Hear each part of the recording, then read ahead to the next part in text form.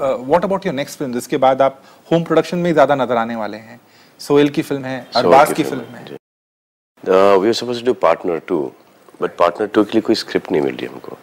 And it has to be better than Partner so we drop Partner right now the idea and we doing Sher Khan उसके बाद दबंग है। और um, नहीं I'm doing uh, Yashraj's uh, Ek Tha Aditya Tiger. Chopras Ek Tha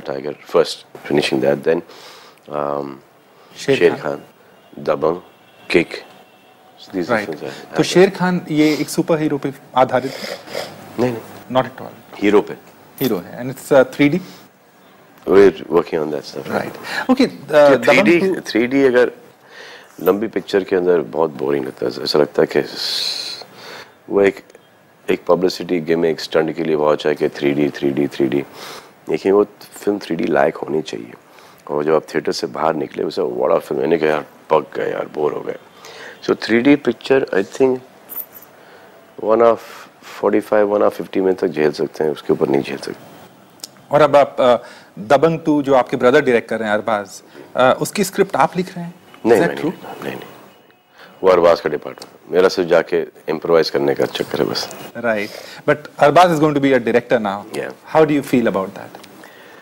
See, Arbaz always wanted to be a director. He is always very keen to direct. By default, he got into acting and he got stuck there. Then became a producer in Dabang.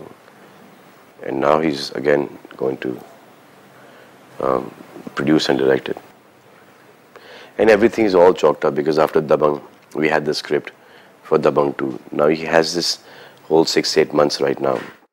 And us he had about five, six months before that to work on everything. So he's he's going to be and Arbaz is very meticulous, very planned.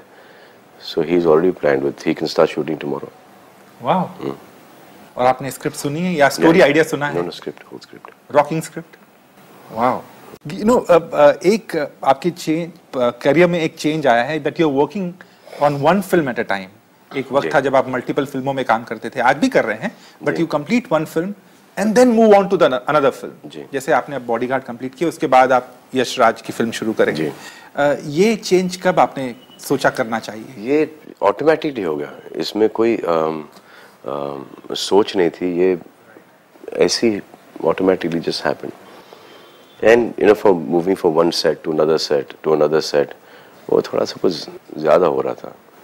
So I said let's complete one film and then go to next film so the next films might go slightly ahead, but then it gets completed also that fast.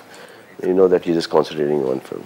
Right very true और you know आप सिर्फ़ solo hero में काम कर रहे हैं no more multi starrers now ऐसी कोई स्क्रिप्ट नहीं आ रही।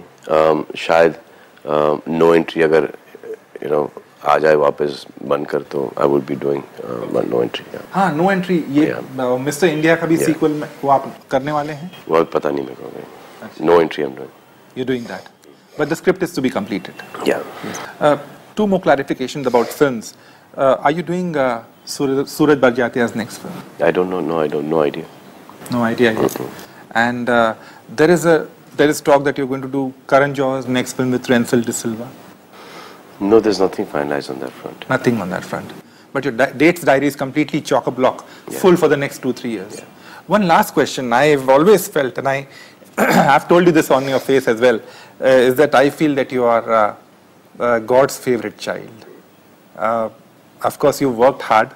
Uh, it's not just that you've just been lucky, but you've really, really worked very hard to attain the position that you are in. Uh, कोई ऐसी चीज जो आपने नहीं हासिल की हो जो आप हासिल करना चाहते हो